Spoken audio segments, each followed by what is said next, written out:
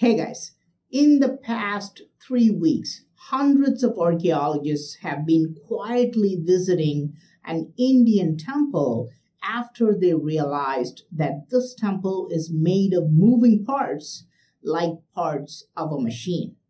This information is groundbreaking because it changes everything we know about ancient Hindu temples. This temple is found in the heart of an ancient Indian city. What city is that? Bangalore. Today, most people know Bangalore as a very modern high tech city, but Bangalore also has a very long history and is hiding some very advanced ancient technology. As you can see, this temple is located in a crowded area, and at first sight, you can see the fresh paint on the tower. When you go inside, you can see the polished tiles on the floor, and the walls are also painted recently. But these are routine renovations. Until last month, archaeologists thought that this was a medieval temple built roughly 550 years ago. But now the archaeology department of India has scanned every stone and has doubled the temple's age. Now archaeologists say it was built 1,263 years ago, and some experts are claiming it's even older than that. But what made archaeologists examine this ordinary looking temple in the heart of a big city? You may have noticed that in spite of the new tiles and freshly painted walls, the granite pillars look quite different. It's because they are very ancient. Not only that, every pillar is made of five different stone blocks, and these tire like blocks are individually rotatable. As you can see, this stone block can be rotated like a tire in an axle of a car. And these blocks are at least 1,263 years old. But perhaps this is just an assembling error, right? How can I say all the pillars were designed like this with rotating stones? Look carefully. You can see the dark areas. This is modern day concrete patched recently to stop these blocks from rotating. You can see that this is applied on all the pillars, all except one to prevent people from rotating all the blocks. But why? Why did they have to alter the original ancient design? Watch. How is it spinning? Oh, university of Mandela. No, no, it's been before for thousands of years going on. We don't know, but everything will spin. But we meant to cement because everybody will come and spin. It will disturb the building. That's why we closed everything. We kept only one. How old is this temple? 1263. 1263 years old. Thank you.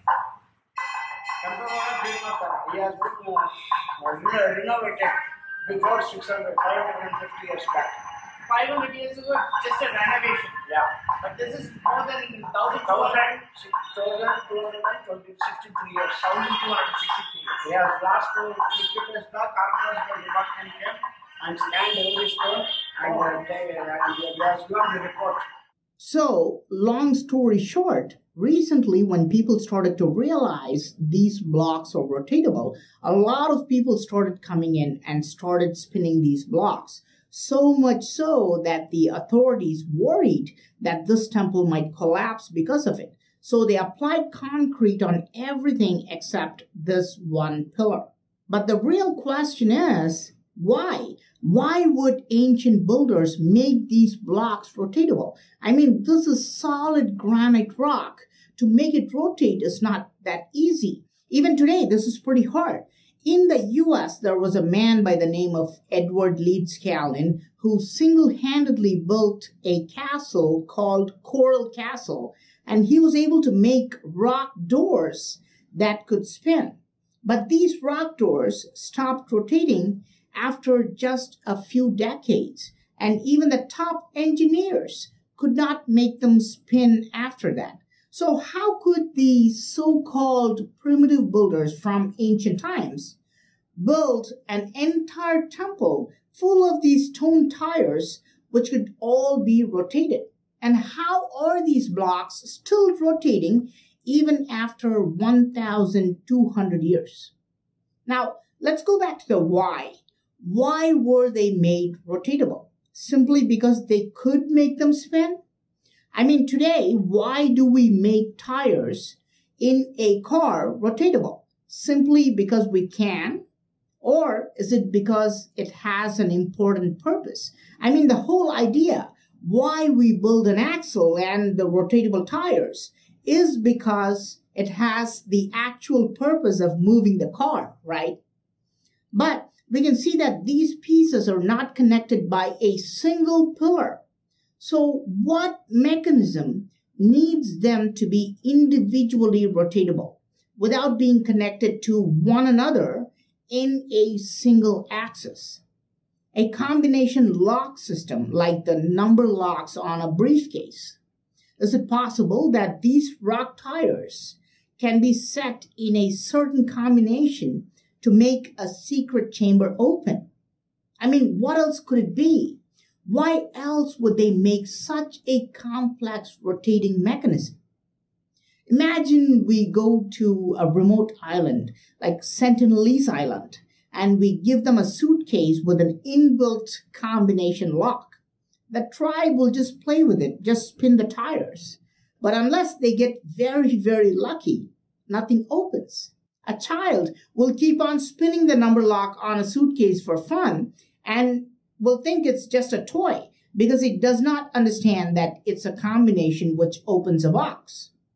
Are we doing the same thing? Are we thinking this is just a meaningless rotatable thing, even though we know deep down that making such a complex feat would have had a real purpose behind it? When I observed closely, I even found a broken area where we can see the cross section, how the tire is linked to the axis inside. I think that everything you see is just a shell, and the real axis is an actual thin cylindrical pillar inside the stone blocks. Are all the pillars connected at the bottom is a complex mechanism hidden underneath these tiles. But what will the right combination unlock? Perhaps the clue about what it can open is hidden in the name of the temple itself. The name of this temple is Ranganatha Swami Temple. And in 2015, a secret underground chamber was discovered in another temple, also called Ranganatha Swami Temple.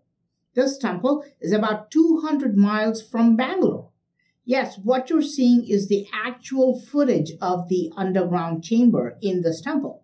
And it said that a Vimana, an ancient flying machine, was found in this underground chamber. It's very strange because in this temple, there are symbols pointing down as though the ancient builders are telling us to dig below the doors. And that's exactly where they found the underground chamber. In Bangalore Temple, you can see this carving. Here's a man pointing his finger up directly towards the tire, as though he's asking us to rotate it. Is it possible that another ancient Vimana is buried somewhere in the temple premises underground? Is there a secret door that will open if we rotate the tires on all these pillars in the right combination. Why else would these stone blocks be designed for rotation? What will the right combination open? What is hidden underneath this temple? Please let me know your thoughts in the comment section. I am Praveen Mohan. Thanks a lot for watching. Don't forget to subscribe and please share this video with your friends. And I will talk to you soon. Bye.